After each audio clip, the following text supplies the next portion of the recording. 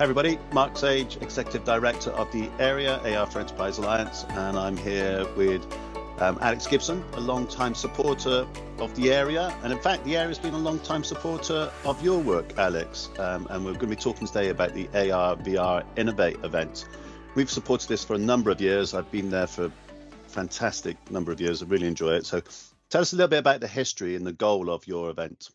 Yeah, well, this year, thanks again, Mark, for the opportunity to talk to your members about the event. And we've had many of them attend down the years, as you mentioned. Uh, we're celebrating an important milestone this year it's the 10th anniversary of the event. So I think it's fair to call it a veteran in the uh, augmented reality, virtual reality conference circuit. This year, it's taking place on Wednesday, the 8th of May, in the RDS Conference Centre here in Dublin. And uh, we'd love to see as many area members as possible make it along. We've got a really great uh, schedule of speakers, but also content and expo uh, for people to experience the technology at first hand. Fantastic. Anything new from previous years this year, Alex?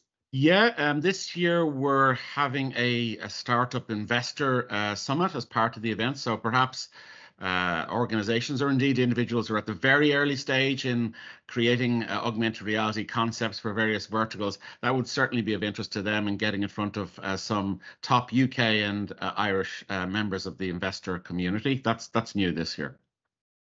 Fantastic. And and kind of who are people likely to see? Who are the kind of sponsors and who will be at the event? Well, obviously, we're delighted uh, to have the continued support of the area, uh, who will also be on a panel discussion on the main stage itself on, on the Wednesday, the 8th of May. Uh, we have a lot of support from UK uh, this year. Um, new this year, for example, is a delegation coming from Invest Northeast. Uh, and we're also delighted to welcome back again to Dublin a delegation from Invest Wales. Uh, we've got sponsors from Irish companies as well, such as Virtual Reality AI, VR AI, and also from VStream. And we've a number of new sponsors uh, uh, arising. I can't quite say at the moment, but in the legal space, I'm hoping to announce something pretty soon, and also in the hardware space. So there'll be a lot of technology to experience in the big exhibition hall, as well as listening to top uh, international speakers from uh, from Ireland, obviously from the UK, from from Germany, uh, uh, to name just a few countries where people are coming to speak at the event. Fantastic, and in my experience, it's really important to have the expo so people can actually use the technology, understand it, and just spend some time actually being immersed in a, an immersive world, which is great. It's really uh, important, yeah, and we'll have about 25 uh, uh, exhibiting, uh, participating companies in in that uh, exhibition hall. So, yeah, uh, you're absolutely right. Um, as I often say, Uh, wearing is believing when it comes to AR and VR. I think when people try the technology and see what's being done right now in enterprise context, in education context, in simulation and uh, training context, all of these areas are really experiencing huge growth at, at the moment. And uh, at the conference, people will get a chance to meet and interact with companies in that space and try out the technology. Fantastic. So the last kind of question, who should attend this event? Well, I think there's huge interest in this space, as you know, Mark, augmented reality, virtual reality, spatial computing. So I think a lot of people will have an interest in it uh, from a wide variety of sectors. For example, you know, manufacturing. Um, obviously, we've got tourism, healthcare. It would be a big area, education. So it's a very broad range of um, areas I think people would have an interest and would find benefit in attending the event.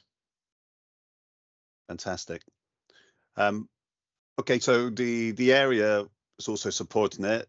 Can yeah, you... so th- this year, um, as I said, delighted to have the continued support, and we're um, again, delighted to announce that the area are participating in a dedicated workshop which will take place the day prior to the event. I know that, Mark, uh, you and I worked on this for the first time last year and it was a really big success. Um, maybe you actually might be better placed than me to tell the audience here about what what's involved in the workshop because you've run them here in Ireland, obviously, and you've run them in the UK, and they really are. I think they're fantastic learning, deep dive learning opportunities for people. Yeah, no, thank you, Alex. And actually, run them all over the world and they, have always gone down really well. It, it's basically looking at delivering AR use cases. So, what problems can you solve using the technology? But taking the attendees through a number of different kind of touch points or things they need to consider when they're developing a use case. Quite often, they find a problem and they focus very much on the technology. But we find with, with certainly delivering AR, there are other things and other barriers to overcome.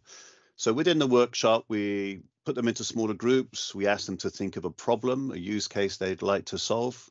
Um, but then we go through a kind of 11 step process of things they need to consider. So anything from, you know, defining the problem accurately and carefully to explaining what difference will make using AR to then thinking of what assets are available and where they are within the um, infrastructure within their organizations, uh, any infrastructure needs like connectivity and, and connections and things like that. And then we go through another bunch of steps on the human side, on the stakeholder management side. And basically by the end of the, the hour or two hours, however long we take the um, workshop to do, one they've kind of learned from their other peers that are in the workshop and two they've understand they understand now that to actually deliver a good AR use case takes a little bit more than just putting some technology in. And that's something you know, we're trying to emphasize through the area that it's actually about change management and helping companies you know deliver the technology effectively. So that's what the workshop is about. It's very interactive. It's always great fun.